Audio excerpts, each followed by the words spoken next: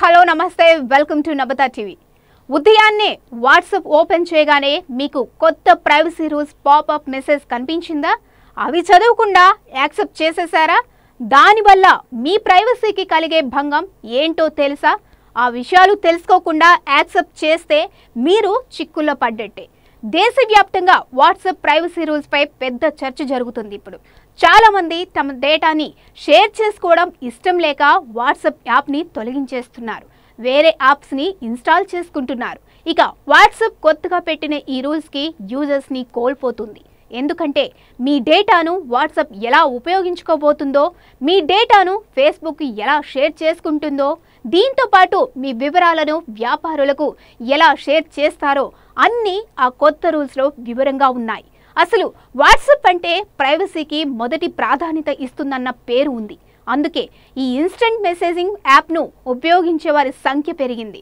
వాట్సాప్లో ఎన్ to end encryption ఉండడం అనేది దీనికి మరో కారణం. ఎన్ టు ఎండ్ ఎన్క్రిప్షన్ అంటే మీరు పంపిన మెసేజ్ అవతల వారికి మాత్రమే కనిపిస్తుంది. ఎవరు హ్యాక్ చేసి ఆ మెసేజ్ని చదవడం సాధ్యం కాదు. ఎండ్ టు ఎండ్ ఎన్క్రిప్షన్ ఉన్నందుకే వాట్సాప్ యూజర్ల సంఖ్య పెరిగింది. కానీ ఇప్పుడు వాట్సాప్ ప్రైవసీ పాలసీలో కొత్త మార్పులు వచ్చాయి. మీరు వాట్సాప్ కొత్త రూల్స్ యాక్సెప్ట్ చేసినట్టయితే మీరు ఉపయోగించే phone model operating system battery level signal strength app version browser information mobile network convention information భాష టైమ్ జోన్ ఐపీ అడ్రస్ ఇలా చాలా వివరాలు వాట్సాప్ మేకర్స్కి తెలుస్తాయి. అంతేకాదు మీరు వాట్సాప్లో పంపే మెసేజ్ పైన వాట్సాప్ నిఘా కూడా ఉంటుంది. అంటే మీ అభిరుచులు ఏంటి? మీరు ఎక్కువగా ఏ టాపిక్స్పై ఆసక్తి చూపిస్తారు?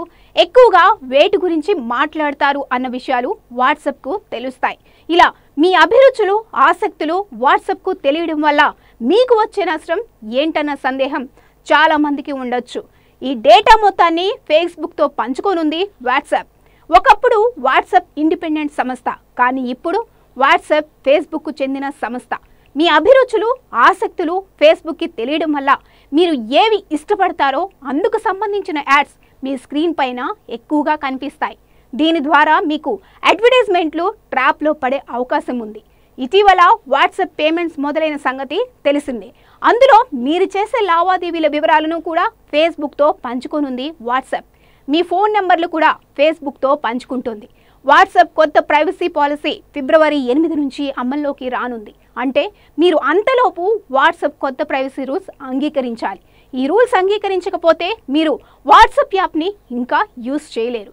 మళ్ళీ ఇన్స్టాల్ చేసుకోవాల్సిందే. అందుకే ఇప్పుడు చాలామంది వారి ఇన్ఫర్మేషన్ని షేర్ చేసుకోవడం ఇష్టం లేక వాట్సాప్ని తొలగించి వేరే యాప్స్ ద్వారా మెసేజ్ పంపుతున్నారు. అదే విషయం.